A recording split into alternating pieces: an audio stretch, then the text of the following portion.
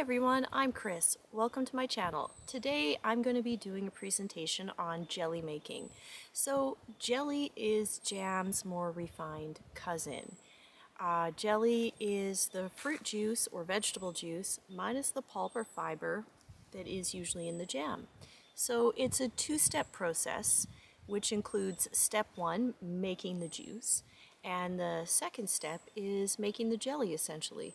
So today, because it's peak season and there's so much produce ready all at the same time, we're going to be making a raspberry jelly, a red currant jelly, and a Saskatoon jelly. So I just freshly harvested the raspberries off our raspberry uh, bushes the Saskatoons were locally foraged and the red currants came off my red currant bush just right behind me. So stick around, stay tuned, and we're gonna get up to some fun making jelly. And um, please subscribe to my channel and like this video if you're into this kind of thing. Thanks. Uh, so jelly can be made really fancy or it can be used um, or you can use scraps and leftovers to make jelly. And what I mean by that is jelly can be made out of fresh, beautiful berries just picked, um, or it can be made with scraps and not stuff that's moldy or bruised or going bad, but stuff that you maybe wouldn't think. For example, when I can my peaches, I always make a peach syrup or a peach jelly with the pits and the skins of the peaches as I'm canning. And another jelly I like to do, and this is a southern classic, I found it online, certainly not something traditional here in Canada, but a corn cob jelly. And that's super fun because when I freeze a bunch of corn or pressure can a bunch of corn, I have all of these corn cobs just left over and although I ordinarily compost them or make corn stock, which is a great thing to do too, you can make a corn cob jelly and I've even heard of a corn cob molasses or a corn cob honey. I've never tried that, um, but they are basically the same processes. So the corn cob jelly would be um, something you would put over like a corn muffin or a biscuit. Um, and one time I had the corn cob jelly not totally set, so it was syrup, and I actually used that for uh, a liquid ingredient when making cornbread, and it was really good. Uh, so it added that sweetness, the liquid, and then the little bits of corn kernel that were in the jelly kind of went into the cornbread. So that was fabulous and great. So do think of that when you're making jelly. You could do the same thing with apple core, peach core, um, and peelings provided that you use them right away. They don't go into the fridge and get oxidized and you don't use any nasty bits so nothing moldy or bad or bruised. We are using up a secondary product but again we're not using those jam berries sometimes you see at the market that you know the flies are buzzing around and they kind of look damaged. I don't recommend using that kind of thing for preserving. Um, fruit doesn't get fresher when you put it in a jar. You know what I'm saying? Get the freshest stuff you can, the best quality you can, and process it up and use it to the best of your ability. So that's the safe way of going about canning. Uh, we never can stuff that can have microbes like bruising or decomposing. Um, that's another talk for another day. Um, that, that is the first stage of fermentation though, so check that out if you're into fermenting. And I'd still never ferment something that was nasty either. But okay, anyways, another talk for another day. Uh, so stay tuned. Let's get making jelly. Okay, friends, I'm in the house and I'm ready to get making some jelly.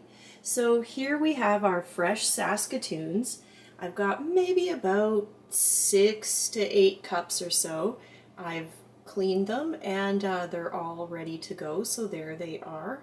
And last night I did go ahead and do a bit of advanced prep. So I've got my raspberry juice that I've already made and I've got my red currant juice again that I've already made.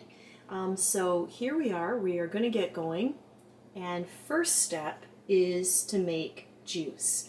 So of course you could always use uh, a high quality pre-packaged juice to make your jelly but why not use fresh, beautiful uh, fruit that we've just harvested. So here's some Saskatoons and all you have to do to make the juice is simply cook the berries in water uh, for maybe about four hours or so is, is normal for what I do and I never boil. Maybe two to four hours max. Okay, so I'm going to add the Saskatoons to the pot.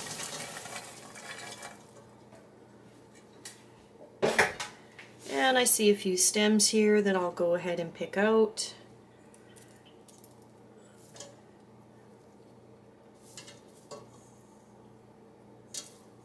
Okay. We'll be adding water to the berries just to cover.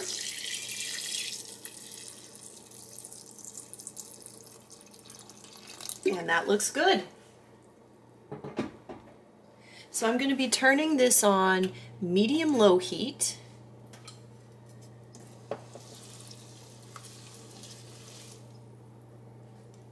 And it will uh, just simmer. So it's not going to get hot uh, necessarily. It's not going to boil. We're basically just making tea here. So you're going to want to give your berries a mash. And I just use a potato masher just to break some of them up. Of course, over the cooking period, they will break down and the juices will be released. But this kind of gets it going. So just go ahead, give them a mash and then let it cook.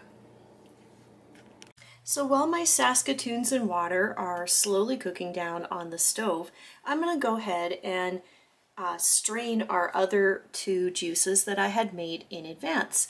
So last night I did the exact same thing with the raspberries and I did the exact same thing with the red currants. Just filled them with water and let it cook for a couple hours and then let them cool overnight. So you can either do this uh, process now with a jelly bag or I have some cheesecloth. I've double lined the cheesecloth and I'm going to put it over a very fine double meshed sieve um, so because I don't have cheese, uh, a jelly bag, which would be a little bit uh, a tighter of a weave being a fine muslin, I'm just going to use the, the cheesecloth here. So the trick to, to this part is to not force the liquid through. If you force the liquid through the jelly bag or the cheesecloth, uh, you'll have a cloudy product. If that doesn't matter to you and you want to save the time, then go ahead. But I am entering this raspberry jelly into our local fair, so I of course want the clearest jelly possible and I'm not going to be pushing it through. So this straining can really take, um, it can take quite a while actually, a couple of hours. So as you can see, this is just naturally going to drip through the sieve and and I'm not gonna force this through. I'm not gonna squeeze that because that will again make a cloudy jelly. So I'm gonna go ahead and strain my red currants as well. Okay, and I've got my second bowl, cheesecloth, and strainer set up.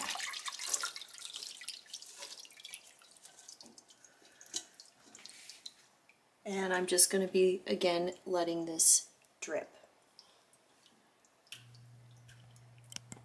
Okay, I just wanted to come back and show you my Saskatoons. They have been cooking here and I'm just continuously coming back and kind of giving them another little bit of a mash to help break them up. Okay, I'm back a couple of hours later and both my raspberry and red currant have definitely strained and I've got the juice of both of the liquids. They're looking beautiful and clear.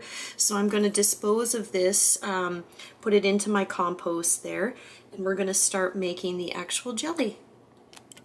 Okay, I've got my pot here. I'm going to put the raspberry juice in. And, and usually when I get just to the bottom of the bowl here, I, I don't usually pour the maybe the last quarter cup or so because it just usually has a lot of solids I can see and maybe if I had used a jelly bag I wouldn't have that um, but you can see just some extra solids that you don't have to add to your jelly if you want to keep it nice and clear. So this liquid here looks beautiful. Uh, I'm going to add my sugar, and it is a lot of sugar when you make jelly. It's usually about one to one. So I have, you know, if you have four cups of juice, you're usually going to add about four cups of sugar. Uh, sometimes it can be, you know, four to three. So I'm just going to add the pectin in, and then I'm going to whisk it on up.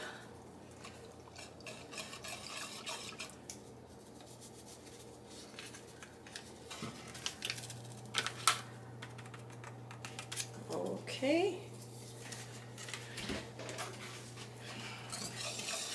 And we'll give this a whisk and come back in a minute.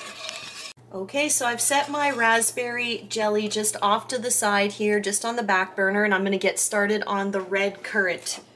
We're going to be doing the exact same process with the red currant juice. So I've got that beautiful red currant juice here that is strained. And I didn't get quite as much juice as I did from the raspberry, and there's quite a bit of solids there. So I'm not going to dump that in because you can kind of see, if you can see, there's just a bit of cloudiness that I don't want to introduce into the jelly. Okay, so this liquid here, I've got about three cups, and I'm going to add about three cups of sugar into that. And then again, I'm going to add a package of my Bernardin Classic Pectin, whisk it all up, and I'll come back in a minute. Okay guys, we are multitasking today. Stay with me now. This is the Saskatoon berries. I have cooked this for a couple of hours and then ran the Saskatoon through the sieve with the cheesecloth again and then I've just got the liquid draining underneath and uh, we'll wait for that to drain for maybe another hour or so. Again, we're not going to be pressing the berries through, we're not going to be forcing it through, we're just going to let it go through naturally. Um, so we'll come back to that in an hour when that's ready. And in the meantime, I'm going to continue on with my raspberry jelly and the red currant jelly. So I've got both of the jellies cooking away here. I've got the red currant and I've got the raspberry uh, just behind it here. You can see both of those. So we are going to add, we've got the sugar in both of those, we've got the, uh, the pectin in both of them, and we're going to add about two tablespoons of lemon juice to that one and about three tablespoons of lemon juice to that one because I've got a little bit more in there. So lemon juice, of course, is super important to add. Bottled lemon juice is really important if you are going to be uh, canning this. I'm using Earth's Choice organic bottled lemon juice here. It's really, really good stuff. And the reason you use bottled lemon lemon juice when you're canning and preserving is because it's a known pH. So it's it's a matter of safety. You don't want to use lemon juice from lemons, actual lemons, even though it, it, sounds like a great idea, it's fresh and beautiful, but the pH is unknown. So you're doing this for canning safety, so pH is a factor in canning. Um, so that's definitely important. Plus lemon juice is another source of pectin. And remember, we've strained all the fiber out. So jellies need commercially produced pectin to thicken up. They will not thicken up on their own like a jam will. So while these are cooking up, I just thought I would uh, I would go through some specialty jellies with you. So there's there's all sorts of specialty jellies that can be made. Wine jelly, herb jelly, jalapeno mint jelly, hot pepper jelly, apple cider jelly, um, all sorts of citrus jellies. Tangerine lemon is one that sounds delicious. I've seen a recipe for that. Watermelon rind jelly, so there's a good one, just like corncob jelly. You're using up uh, waste, stuff you'd otherwise throw away. So sun-dried tomato jelly, there's another fabulous one. Balsamic red pepper jelly, that is fabulous. I've made that. And roasted garlic jelly, there's another really good one. Um, really nice on a char charcuterie board. So there's some, um, you know, examples of, of beautiful specialty jellies that you can make and have fun with classic jellies like raspberry, blackberry, elderberry. Um, those are all great. Saskatoon, Concord grape, currant. Those are all great to make because they're really seedy. So I'm just mixing away here. We're, we're coming to a boil here. And I wanted to mention one other thing is you, you don't want to cook down jelly. You want to cook it at this stage for as little as possible. So boil it for a minute and get it off the stove. You want to preserve that nice fresh taste. I'm only trying to activate the pectin here. I'm not trying to cook it down like a classic old-fashioned jam. Okay everybody, I'm back and I've got my raspberry jelly right here and I've got my red currant jelly right here. And so I just want to show you one thing with foam on jams and jellies.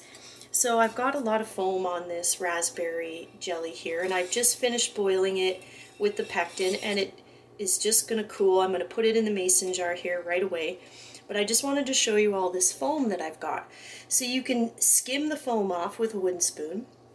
You can also add margarine, which I wouldn't, or butter to this, again, which I just wouldn't do that either, um, which is fine and it can help keep the foam down.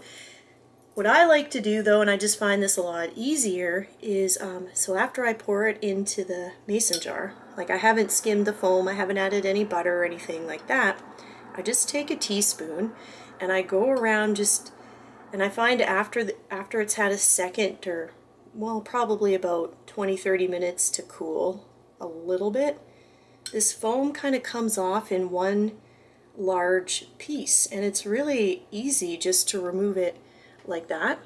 So there's just a little bit around the rim here that I'll just clean up just like that. If you can see that. And then what I'll do is uh, wipe the rim of the jar, obviously, because I'm going to can this, but I'm going to wipe it with a paper towel uh, with a little bit of vinegar on it, and that will just finish cleaning up the rim. And I'll, I'll also kind of wipe down a little bit into the rim just to clean that up so during the venting process while it's canning. Um, it just helps for a better seal, seal I find, and I, I have really good success with wiping everything down with vinegar for the pressure canner or the water bath canner.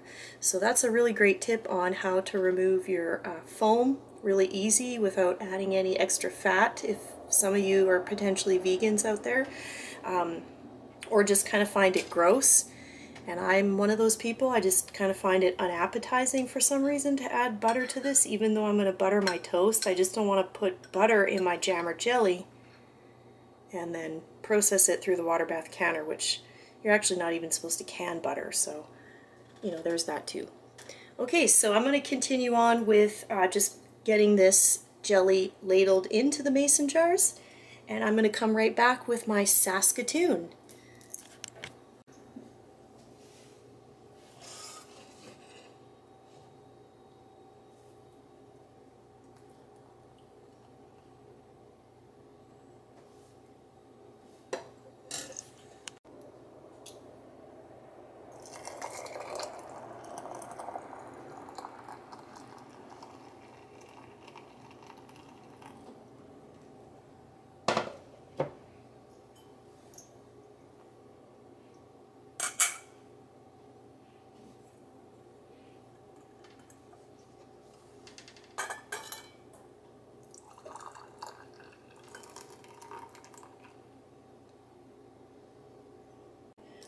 Okay, last but not least, we're on to the Saskatoon.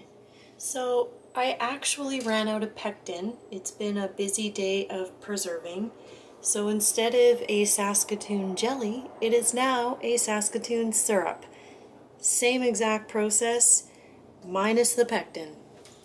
So here we are, Saskatoon juice.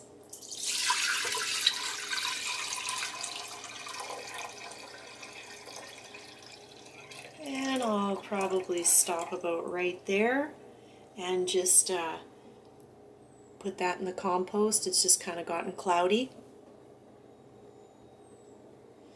So I've got roughly uh, four cups of juice and we're going to go four cups of sugar. It is a syrup after all. And then I'm going to add a quarter cup of lemon juice.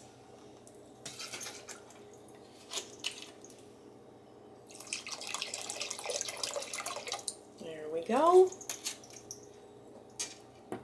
So we're going to bring this just to a boil, dissolve the uh, sugar, and I'm going to do all that whisking off camera so it doesn't make a bunch of noise, and I'll be right back.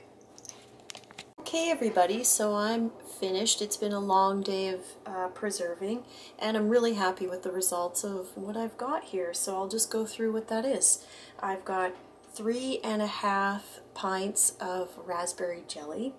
I ended up with four pints of Saskatoon syrup because I ran out of pectin, but it's delicious. And then I've got two pints of um, red currant jelly. And I didn't talk to you about this product here, although I did uh, I did cook it up today. So here is a fireweed jelly. And so that's a floral jelly. Um, it's a little bit different of a process, which is why I didn't cover it along with the berries. But that's certainly um, fun for another day. And if you'd like to go back and check my videos, I do have a video on rose syrup. So it's the exact same uh, technique. You're just using fireweed flowers. You can also do it with daylilies. Uh, what else can you do that with? Lilacs, lavender. There's all sorts of floral jellies and syrups that you can make if you like. Um, so the overall cost of all of this here is really, really low. Everything was either foraged or grown out of my yard. And um, other than the sugar and the canning lid that I will use to seal this up with, uh, that's, you know, and my labor, of course, and the lemon juice. Um, so that's, the lemon juice and the sugar are probably the most expensive items. Um, so I'd factor in that, and really what I would think, um, you know, something like this would cost me would be you know, if I don't factor in my time, um, maybe a dollar or so to produce. And this is a, a quart, a 500 mil jar. And they would charge something like $10 at the farmer's market if I was to buy a product like that. And keep in mind the quality. This is organic and, um, you know, it's, it's very well made and well grown. So that, that's certainly a factor uh, in my opinion. So here we are. Uh, thanks for hanging out with me today. I know it's been a longer video than I normally put out, but if you like this video, please go ahead and uh, give it a thumbs up, and do subscribe to my channel if you'd like to see more fun cooking, gardening, canning, soaping, and uh, all those domestic lovely things.